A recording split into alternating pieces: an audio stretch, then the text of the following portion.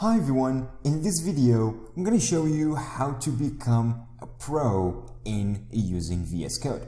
Yes, if you are actually a VS Code developer or just getting started with VS Code just as a beginner or anything, you need to watch this video to master VS Code and to see these like hidden features and functionality you're basically missing that VS Code has a lot and you probably need to just like follow up um, you know just know these features and extensions and themes that senior developers or pro developers use on a daily and pretty much use on any projects like I do. So I'm to just give you all my experience about VS Code, what are these hidden features and how to customize it for the best to make you a high level programmer and a hero in VS Code.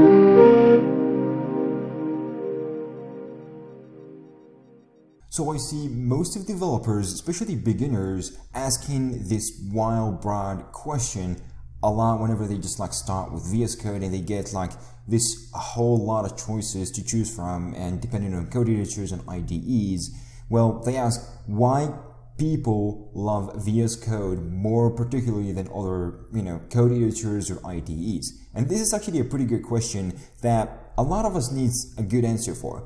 Mainly because VS Code, it offers basically a sweet spot for most of the developers. I'm saying most of them it just like offers this really good sweet spot between code editors and IDEs. And what I mean by this, VS Code can basically play two roles. So if you want to use VS Code as a lightweight, simple, and minimal code editor, you can do that because it comes very lightweight. It doesn't come with complexities as other code editors or stuff like that. If you want to use it as a code editor, you can just download VS Code, no extensions. You don't need to go and install any extensions or anything at all. Just download the bare minimum version available via VS Code. You're gonna like find a vanilla, and by vanilla I mean just like a minimal VS Code, no add-ons, nothing, nothing that you won't need is added to that version, and you basically can use it as a code editor. And this is a really, really good point. The second one, which is very important for us as pro developers, is using it as an IDE. And what I mean by an IDE is, is just like a fully fledged integrated development environment. And what I mean by all that is just basically this VS Code can have superpowers, like it has hidden features and hidden functionalities only pro developers can basically use. So if you don't need them, you don't need to use them anyway. You don't need to know about them. But if you want to use them and you are actually a pro developer, you definitely need to look on these pro features. And this is what makes it super, super special.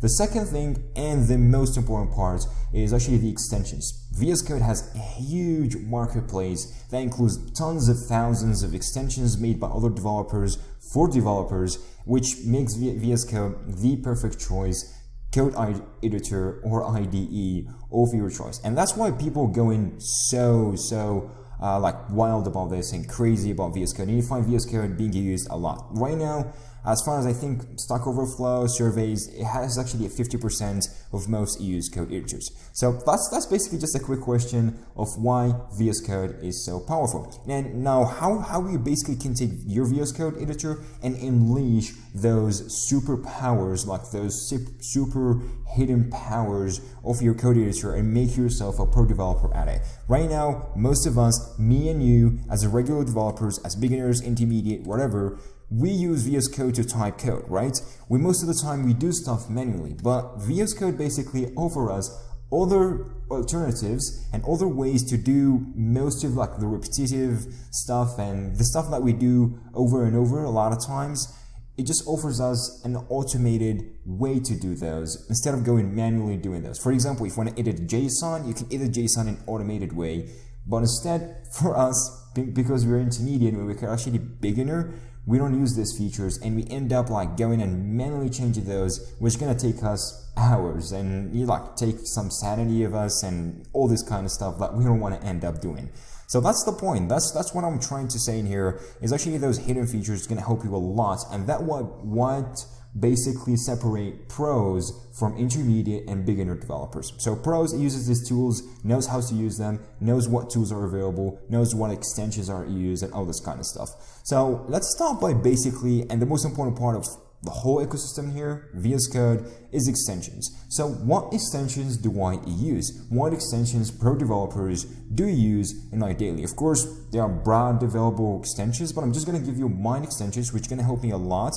And I find myself using them daily, like every single day, whenever like, you know, I wake up and, and I start doing my job, I open a VS Code and I start one of these extensions. And I just like have to use one of these extensions in a day at least. I'm, I'm using a lot. I'm using all of them basically.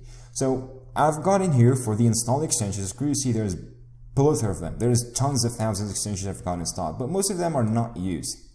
So what I use mostly, uh, let's start from the top bottom. I'm not going to start like, you know, the most used one, but I'm just going to start from top bottom. So there's this, you know, color pickers and stuff. I basically use this color picker because I, you know, I, I mainly do CSS daily. So this can actually help you to pick colors just by like, you know, using the command palette in here or just hovering over that and you can pick a color. And this is super, super damn useful for us as front-end developers and developers in general. RGB, super good. Uh, the color info in here as well is actually when you can hover over it, it gives you a pretty good um, nice you know info detailed info about that particular color from RGBA from HLSL um, basically hex colors and those kind of stuff this one is absolutely amazing. So I use that quite a lot and it works really good. The second one is Docker.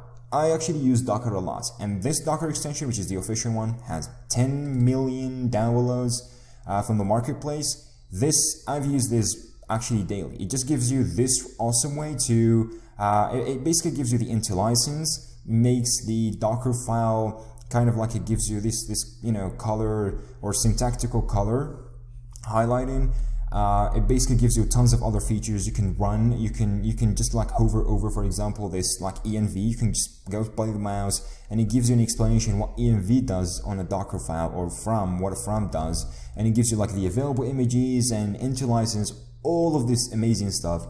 Docker does it really good, and even actually gives you like um, I guess like if you if you can use it this this particular Docker um, you know, from, from the sidebar in here and you can use it. And it gives you like, screws in here, there's tons of images installed so you can just quickly say what images are installed on your Docker machine and you can run and stop images in here. Exclusively, those are actually the like currently uh, running containers. I've got some of them. Uh, you can find help in here, documentation. You can find volumes, networks that are already created.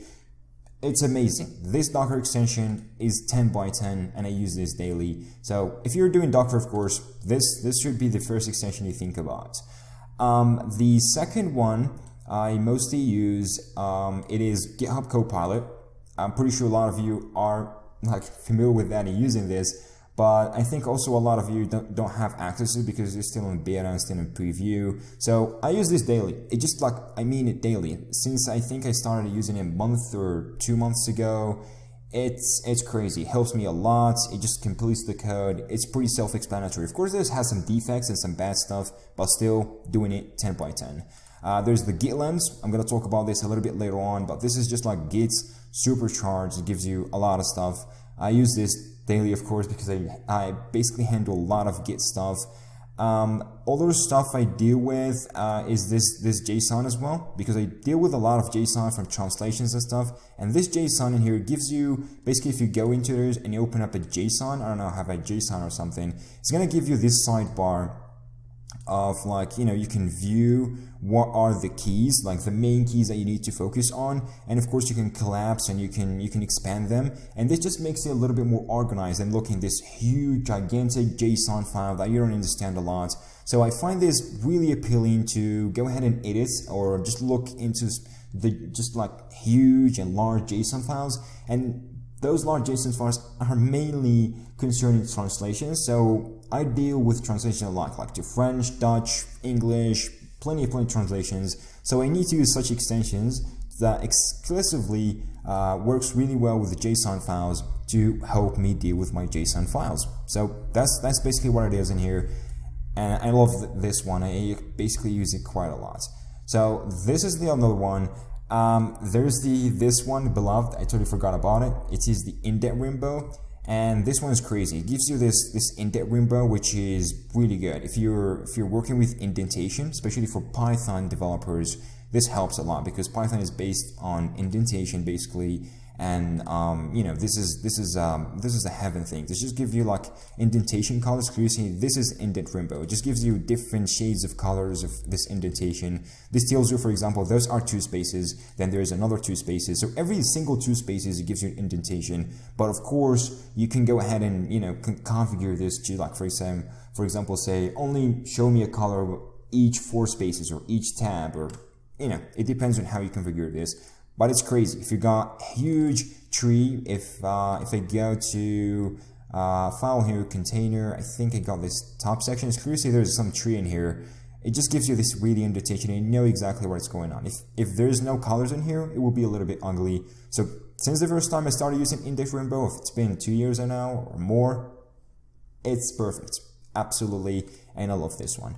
And um, if I find another one, so the most important one the other thing, of course, prettier. You always use prettier in here. Pretty you to code format. I'm pretty sure a lot of you know that, so I'm not going to go into details about this. Uh, I mainly also use this to do. So whenever I type in to do or something, it just like highlights this to do. And whenever I can go ahead and search using the command palette, it can gives me the, all the to dos.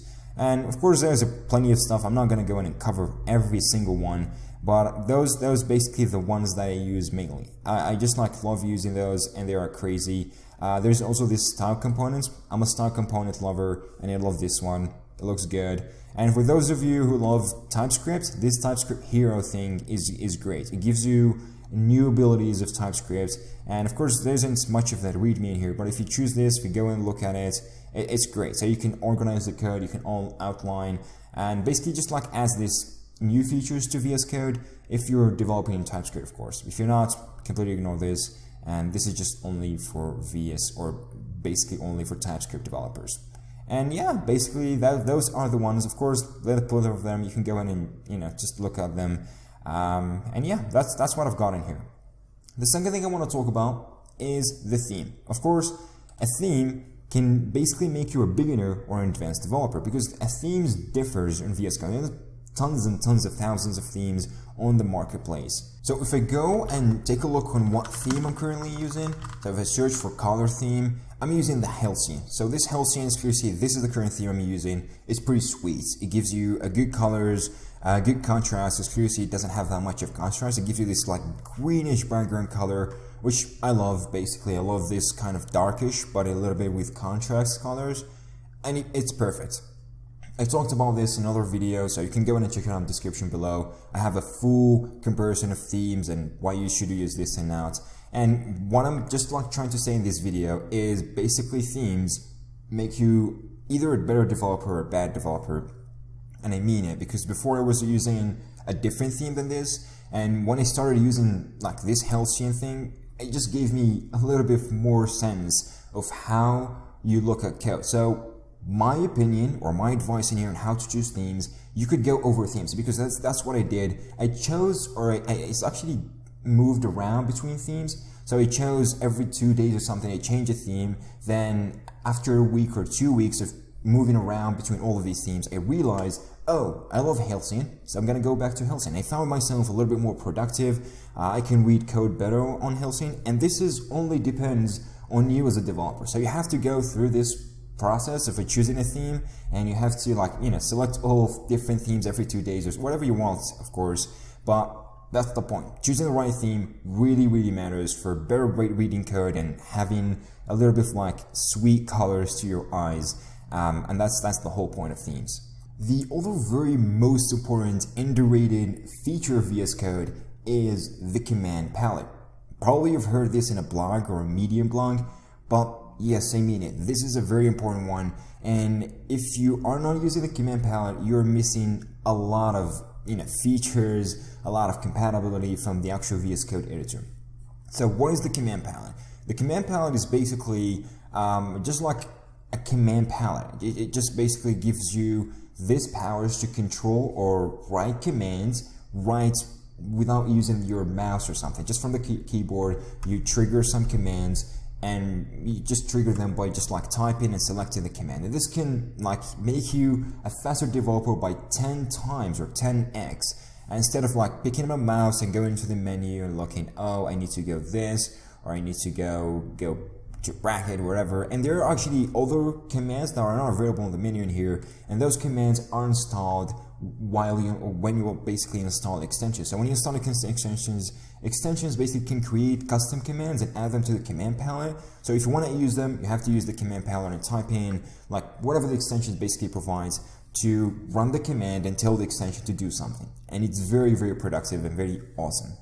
So by accessing the command palette, you need to go to either Control Shift P if you're Windows or Linux like me in here, or if you're in Mac, you can you can I think um, I, I, don't know I think it's options. Uh, basically think so. So it's it's either uh, command or option. I think it's command.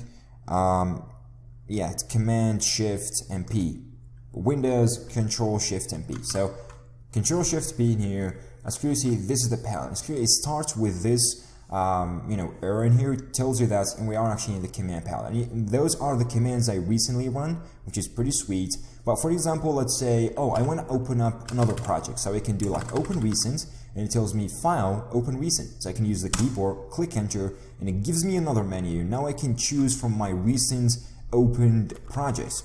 Pretty sweet. I've got plethora of projects so I can go through all these projects or you can even search like only React stuff. I can search and I can click and open up the projects. It's absolutely amazing. If you go back, you open up the command palette again. Um, let's say I want to zoom in a bit. I, I don't, I, am not seeing the code or something, or I want to run a tutorial. So I just like do view, zoom in. I'm zoomed in. As you see now, I can see the code 10 times zoomed in and 10 times better actually. Or I can go in and type in zoom out and it does that. If you want to zoom in the font, you can do this. You can zoom or do font zoom in or font zoom out. And of course, you can get that font zoom in and font zoom out. Uh, let me get back to the font here. And it works perfectly. Um, for example, let's say if you want to use extension, remember before we are actually having the Prettier extension installed. So here on the menu in here, we have Prettier installed. Prettier is actually running. And if you're not familiar with Prettier, it's basically what allows you to prettify the code. So if I add uh, unnecessary indentation in here, now the code isn't pretified. So whenever I control S or save this file, Prettier is gonna run automatically. It's gonna format the code for me and save it in a proper formatted way. Okay, so let's say I don't want a Prettier to run. I want to save the code as it is. So you can run the command palette, do save without formatting. You click that. So you see the file is saved indeed, but the format hasn't been changed. So Prettier hasn't run, and we told it not to, which is great. But of course, you can Control S and you can run Prettier again. Pretty sweet. And that's what the command palette does. And there's plenty of stuff. If you want to go to the settings, you just do that. Open settings JSON or open user settings, which is um, basically the UI settings. So if you want to open up the JSON, you get the full settings of JSON in here. If you want to open up only the UI, you can just go ahead and do open user settings. You get that too.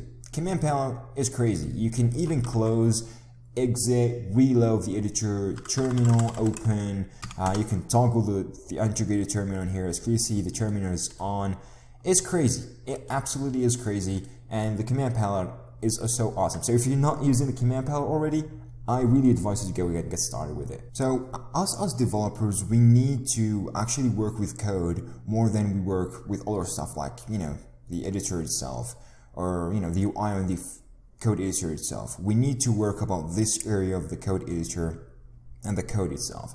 And there are actually some hidden features what we miss a lot and we mistakenly go do those manually where there is actually automated and super awesome ways from VS Code, of course, that allows us to do that much more quickly and much, much more efficiently. So how is that? For example, there's this awesome feature that I use a lot whenever I'm doing React or HTML because it has tags and stuff then for example, I wanted to change uh, multiple stuff that I want to add same stuff. For example, I want to add same prefix or a suffix into the end of a word or a variable name or for, I don't know, a tag name on HTML. And I want to add, I want to add those into multiple containers, like multiple elements. And I don't want to do this manually. There is this awesome feature which is called uh, multiple cursors, which basically allows you to do that exact thing and much more actually. So let's go here, for example, this, this is a file that I got plenty of stuff going on. So for example, let's say this loading container, I want to add uh, something at the end. I want to add like loading container new. I want to add this to the starting tag, to the close tag. Now, if I do this, now the close tag doesn't have that. And let's say I want to add this to the top cars container as well. So if I add a new, this is not going to be added like anywhere else, only there. So how can we use this feature? So we can use multiple cursors, so we can click Alt or Options on Mac, and you can hold Alt, you click on this cursor, you, you created the first cursor in here, you want to add another cursor, you go, you click that here, you want to add another cursor, you add it at the end, so we got three cursors now pointing to this particular places, and I want to add this right here to the closing tag. Now if I go back and I do new, or new like this, there you go, it's been added to all of these and as well as the last one and it works really well. And you can add another cursor in here, and you can do it. You can add tens of thousands of cursors and all would work the same way as you want it to be in a really, really perfect shape. So I really love this feature. It's kind of like a saving you tons of, you know, different uh, stuff. You can use this in JSONs, whatever. It's absolutely perfect. The other one, which I love a lot, which is actually moving lines or basically moving, moving kind of like lines of code. So this is this is a single line of code. This is another single line of code, like whatever. So I find this really underrated and it can help you a lot. For example, you want to render, so you see the title right here is on top. I want to render this title after the loading spinner.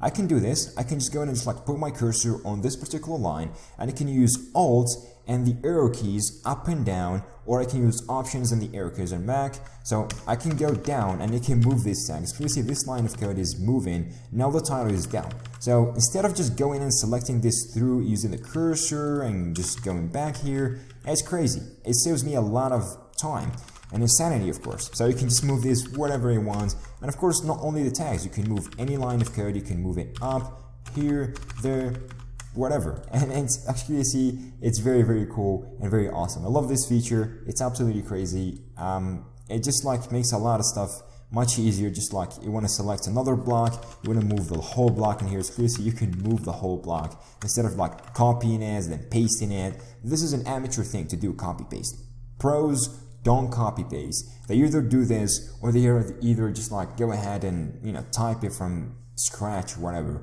Because copy pasting can be really really dangerous and I've had plethora of bugs in production stuff because of just copy pasting in a dummy way. So please please make sure to you know you know what you're doing before copy pasting because it could be super dangerous. So this is another feature. The other one that I do love as well which is the renaming of a code snippet or basically or sorry renaming all matching variables at once so what I mean by this, for example, we got a matching variable. So let's say I want to rename every car. So here there's a variable called cars and it's being actually around the whole stuff. Let's say I actually misspelled that. Let's say there's a word that is, you know, it's a wrong syntactically and I want to go in and edit this. But this, I want to edit every single cars word on this file.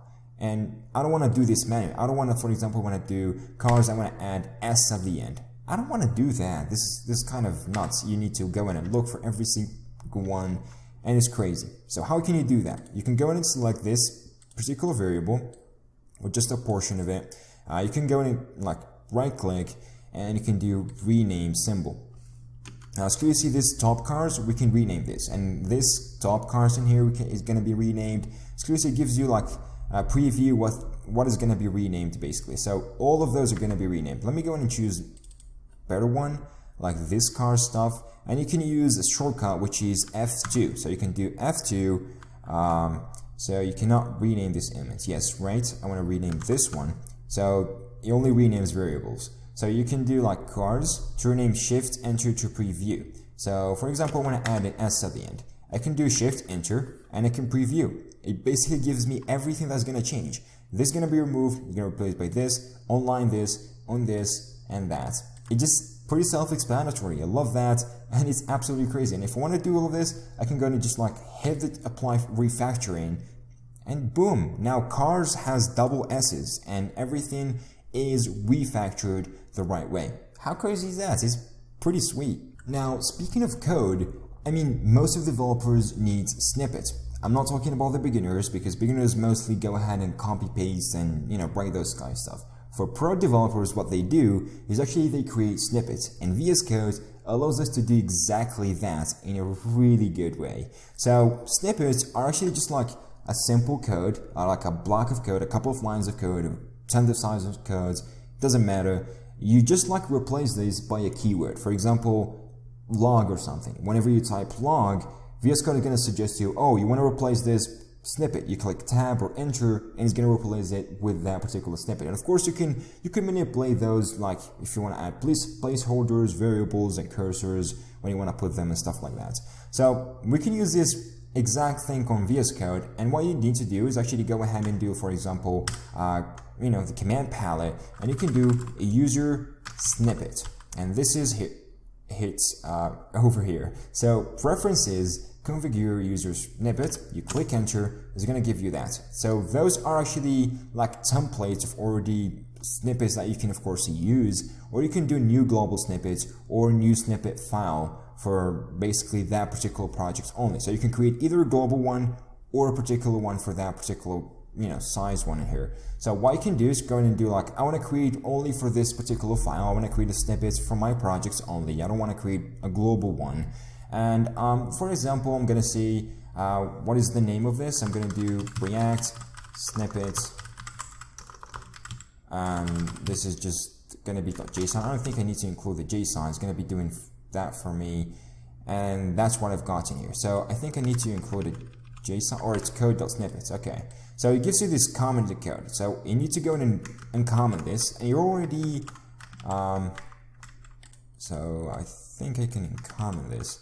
There you go. So it already gives us this example and it just like gives us a pretty self-explanatory description what how this basically works. But how it basically works, you get this objects in here. This is just a description, quickly like print to console. Scope, it only runs on JavaScript and TypeScript. So this should only run on TypeScript and JavaScript. You can change this if you want to run or if you want to add like HTML, CSS, and plethora of stuff. But for now, I want to add it or only run it on JavaScript and TypeScript.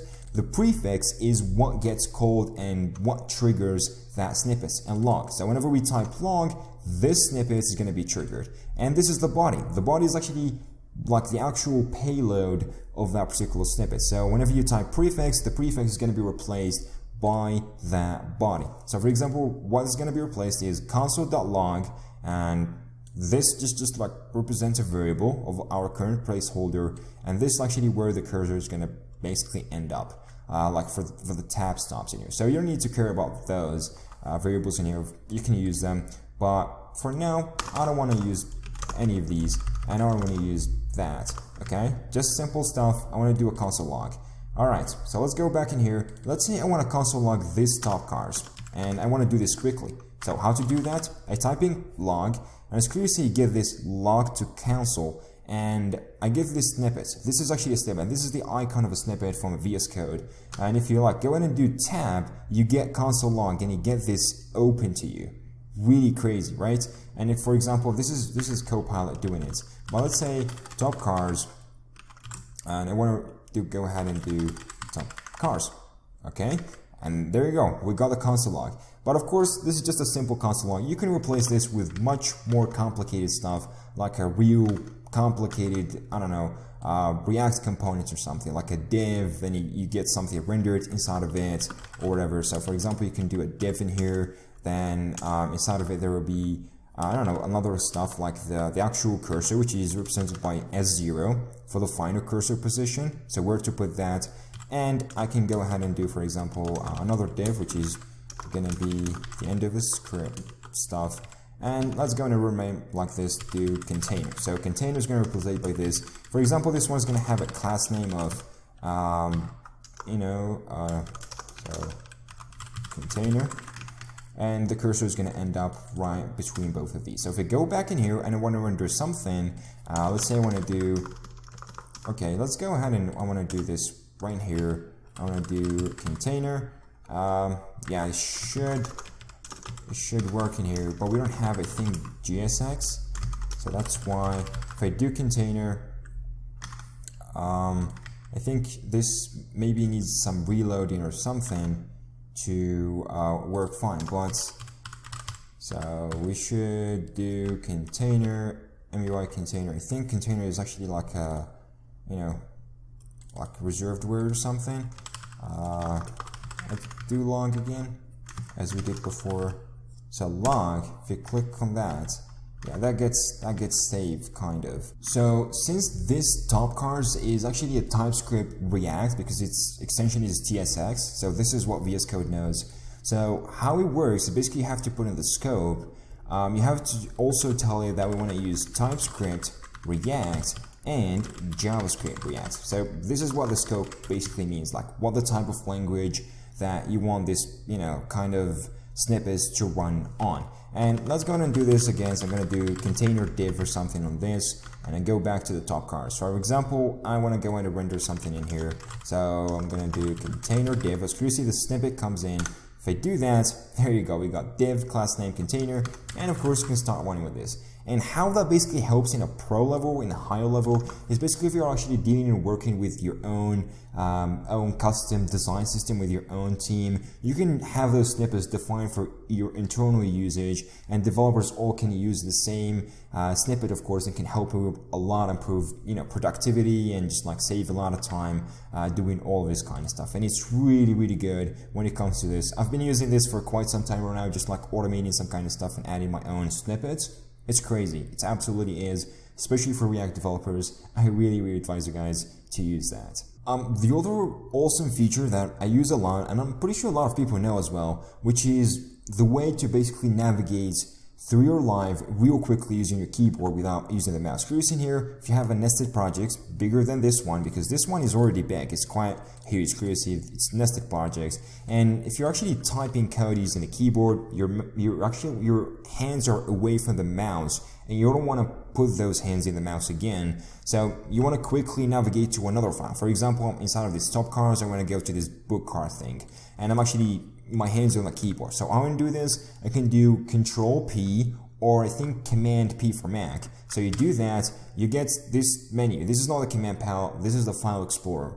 So Exclusive gets all the files and those, it's like they are ordered by the recently used one. So the top cars and you get all the recently used ones. And of course you can type the name. For example, I'm going to use book card and Exclusive tells me that I'm using index.tsx because that's the only file inside of this, inside of like the book card. So I click enter, that's to basically take me to the book card real, real quickly without any issues. And that looks absolutely amazing. That helps a lot. And of course you can go through this and you can just go in and like quickly find what's going on in here. The other one is actually you can use control and tab or command and tab. So if you like hold control and type on tab and keep holding on control basically, you go those the current open one. So the current open files on the top here are actually what you're gonna find in. So you can quickly navigate between both of these and you can switch between them. Like, you know, you can go here, you can go to the index.typescript, app.typescript, top cars, and you can navigate between the workspace. This is what called the workspace, and you can navigate and move around